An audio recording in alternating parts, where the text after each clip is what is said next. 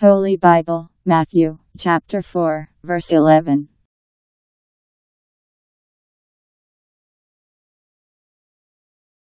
Then the evil one went away from him, and angels came and took care of him.